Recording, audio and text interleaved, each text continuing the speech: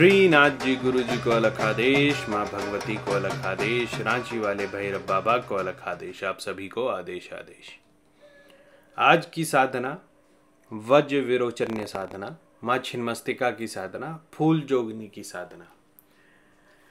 ये साधना बहुत रोचक, बहुत ज्ञानवर्धक, बहुत शक्तिदायक और हर वर्ग के साधक के लिए उत्तम है। आज का जो साधना है, इसे मैं दो विधान से आप लोगों को बताऊँगा।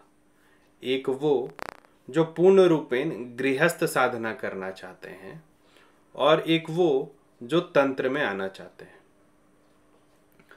तंत्र मार्ग में आने के लिए, जो कुछ मुख्य साधनाएँ होती हैं, जो आपको सिद्ध करना होता है, उसमें भगवती की साधना बहुत प्रमुख है। भगवती की साधना हम क्यों करते हैं? भगवती की साधना हम लोग इसलिए करते हैं क्योंकि माँ बच्चे से बहुत जल्दी प्रसन्न होती है। और एक बार अगर माँ प्रसन्न हो जाए तो फिर पिता को मनाना आसान हो जाता है। तो इसीलिए भगवती की एक साधना तंत्र विद्या के शुरुआत में करनी अनिवार्य होती है। वरना महाकाल की प्राप्ति, महाशून्य की प्राप्ति, महादेव की प्राप्ति, ये कठिन या बोलो, असंभव हो जाता है इस जीवन में।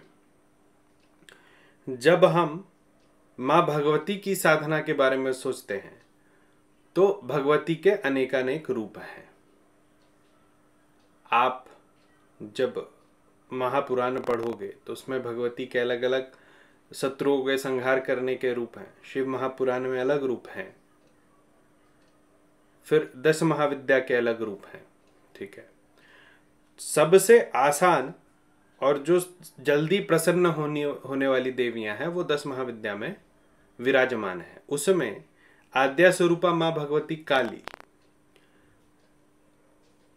छिन्मस्तिका और माँ तारा ये तीन ऐसी देवियाँ हैं जिनको तांत्रिकों को प्रसन्न करने में कम प्रयत्न करना पड़ता है।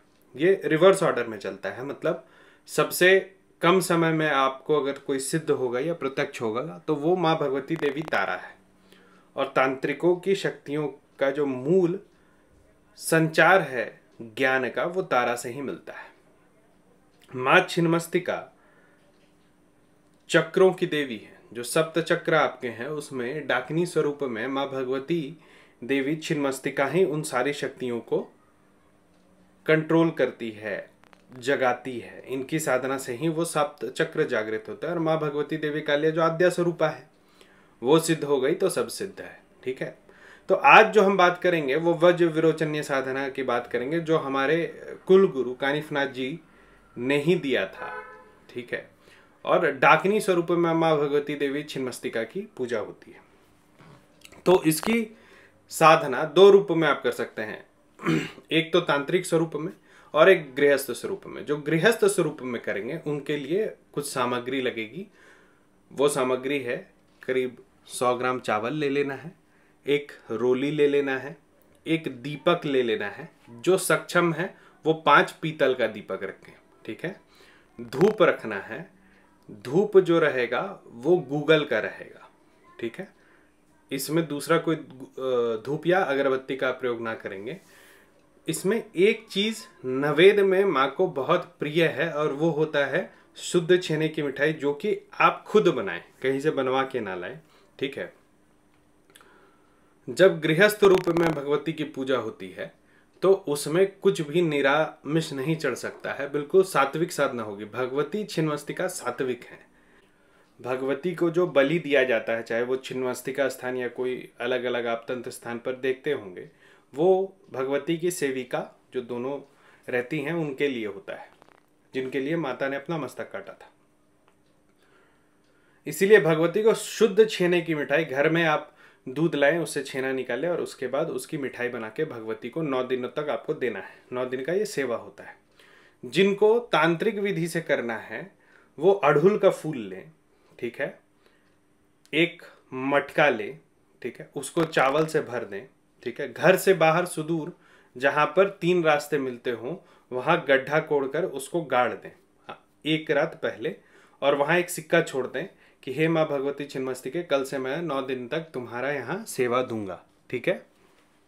दूसरे दिन जब आप वहाँ जाएँगे तो तीन सुपाड़ी लेके जाएँगे और ठीक जिस स्थान पर आपने उस मटके को गाड़ा है उसके ऊपर उस तीन सुपाड़ी को रख के उसको धीप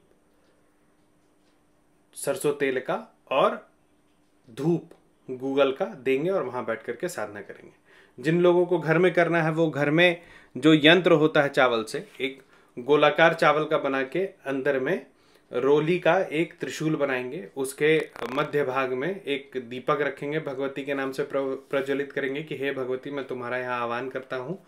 और उस यंत्र की नौ दिन पूजा करेंगे, धूप, दीप, नवेद, फूल और इत्र से। जो भी सामग्री आप चढ़ाएँगे, जो पुष्प चढ़ाया जाता है यंत्र के पास, उसी के ऊपर सारी सामग्रियों को दिया जाता है, ठीक है? तो नौ दिन की ये पूजा होगी दोनों के लिए। जो गृहस्थ हैं, वो माँ को शुद्ध छेने की मिठाई चढ़ाएँगे और जो तांत्रिक विधि से करना चाहते हैं, वो माँ को, माँ का जहाँ आपने कलश की स्थापना की है, घट की स्थापना की है, उसके ऊपर, घट ज़मीन के नीचे रहेगा, उसके ऊपर तीन सुपाड़ी देंगे, ठीक है? मंत्र दोनों का एक है। अंतर यह है कि जैसे ही तांत्रिक साधक साधना शुरू करेगा, वो अपना दो बूंद खून निकालेगा और मध्य वाली सुपारी को छोड़ के जो लेफ़्ट और राइट में सुपारी रखी है, उस पर एक एक बूंद खून देगा। ठीक है?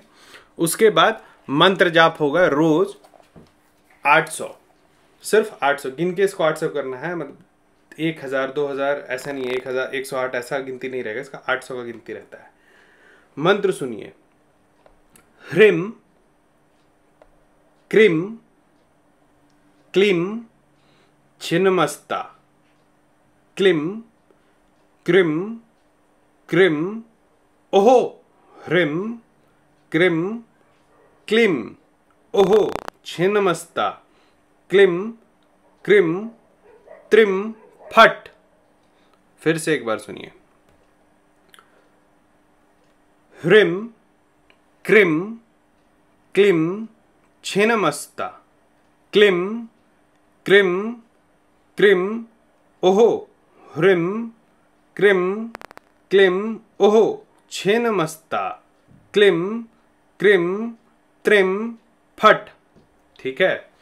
तो ये ओहो का एक उच्चारण आता है। ओहो मतलब बोलने में हम बोल रहे हैं, लेकिन जो ओम पूरा होता है ना ओम इस उच्चारण में मौ नहीं लगाते हैं। तो आप जिस तरीके से भी ओम का उच्चारण करते हैं, उसमें मौ का बिना उच्चारण किए जो जो, दो जो दो बार ओम आया, वो आप लोगों को बोलना है। मतलब ओम का उच्चारण रहता है, मौ जो है, उसमें आपका शांत हो जाएगा।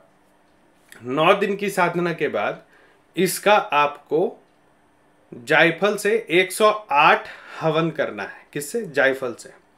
तो आम की ऐसी लकड़ी ले लेंगे आप जिसका, जिसमें कहीं जोड़ ना हो और उसको योनि मुद्रा में सजाएँगे। मतलब आपके राइट से सेंटर पहली लकड़ी, फिर सेंटर से लेफ़्ट दूसरी लकड़ी लेफ़्ट से राइट तीसरी लकड़ी, ऐसे पंद्रह पाँच महिला महिला आप लोग बनाएँगे। उसमें एक सूखा नारियल रखेंगे, सामग्री डाल करके। और उस नारियल को रखते टाइम भगवती को अपना संकल्प करेंगे कि हे भगवती, मुझे जब आप प्रत्यक्षिकर प्रत्यक्ष होगी तो आप मुझे पुत्र रूप में स्वीकार करना। उसको रख करके फिर 108 जायफल का आप वहाँ पर हवन करके वहाँ से आ जाओगे। देखो, प्रत्यक्षीकरण साधना है, इतना में ये मंत्र सिद्ध होता है, इसके बाद कम से कम सात महीने तक इस मंत्र का जाप करना होता है। तो भगवती किसी ना किसी रूप में प्रत्यक्ष होकर के आपकी समस्त कामनाओं की पूर्ति करती है। आज के लिए इतना ही। जिनको बेसिक साधना ग्रुप से जुड़ना है, वो मेरे पेड व्हाट्सएप ग्रुप से जुड़ सकते हैं। नंबर है nine four three one one eight eight five eight five direct बात करने के लिए कॉलिंग फॉर ऐप डाउनलोड करिए। उसमें रूदनाथ एट सी को सर्च करेंगे तो आपको मेरा प्रोफ़ाइल मिलेगा। उसमें आप मुझे फ़ोन कर सकते हैं। डायरेक्ट बात करने के लिए nine four three one one eight eight five eight five appointment W W W dot अघोर तंत्र डॉट एक्स पर आप ले सकते हैं आज के लिए इतना ही। माँ भगवती की मस्ती का आपकी समस्त कामनाओं की पूर्ति करें। ऐसी मेरी कामना है। आप सभी को आदेश आदेश आदेश